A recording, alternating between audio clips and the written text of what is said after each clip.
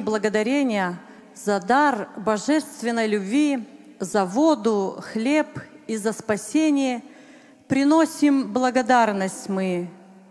Нет слов, чтобы выразить признание за множество Его заслуг, за утешение, сострадание и за милость Бога самого, за постоянную заботу и попечение о нас, за все великие щедроты, что мы имеем каждый час.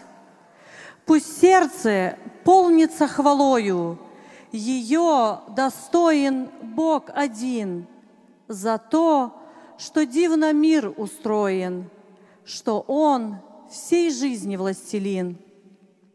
Своим Он приготовил детям на небесах чудесный дом. Что может лучше быть на свете? А как сегодня мы живем?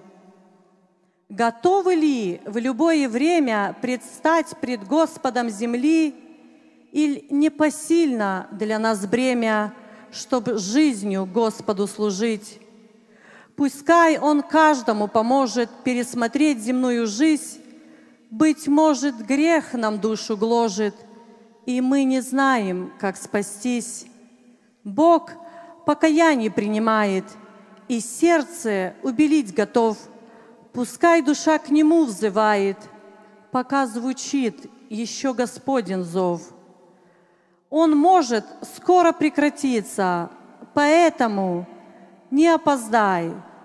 Спеши, душа, в мольбе склониться, чтоб обрести небесный рай. Аминь.